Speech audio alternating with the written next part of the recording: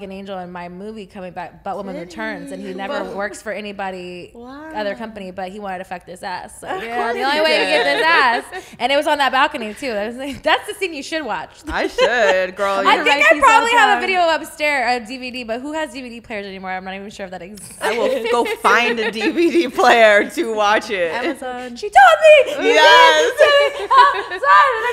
I've seen that balcony in person, like just thinking about it. Oh my god. Shower sex or car sex?